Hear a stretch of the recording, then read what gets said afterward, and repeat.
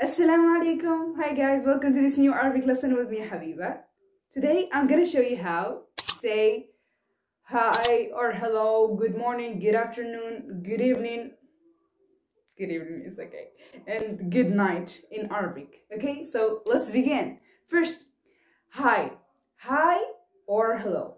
How to say hi in Arabic? Marhaban.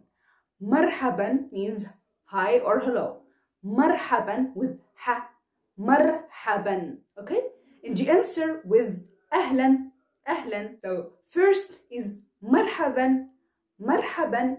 Marha with ha, the letter ha. Marhaban.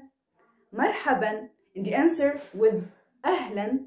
Ahlan. So both are mean hi or hello. Marhaban. Ahlan. Okay? Next. Assalamu alaikum. Assalamu alaikum. Assalamu alaikum means also hi, but the right mean is peace be upon you. Okay?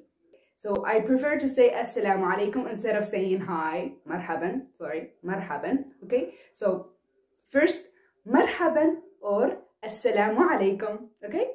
Next, good morning. How to say good morning in Arabic? Good morning. Sabahu al khair. Sabahu Sabahu al khair means good morning. Okay, morning is sabah. Okay, sabahul khair, and you answer with. Sabahu an nur. Sabahu an nur means the morning of the light. Okay, the morning of light. So sabahul khair. Sabahun nur. Okay, the answer is sabahun nur. Okay.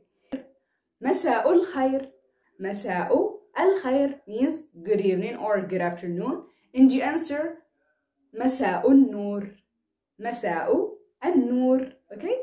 It's easy. Okay. An nur means the afternoon of light.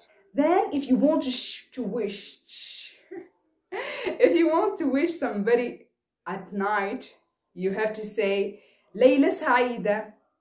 Layla Saida means good night, means happy night. Layla Saida. Layla Saida. Okay? So it's easy. So so first you greet the person in front of you. You have to say marhaban or assalamu alaikum. If you are in the morning, you have to say sabahul khair. Sabahul khair is good morning. Okay? You have to answer with sabahun nur. Okay? Sabahu an nur. Masa'ul khair. Masa'ul khair. It's easy. Masa'u al khair. Okay? Layla Saida. Happy night or good night. Layla Saida. Okay? So thanks for watching the video. Don't forget to follow me in my Instagram and subscribe on my YouTube channel. Shukran. مع السلامة.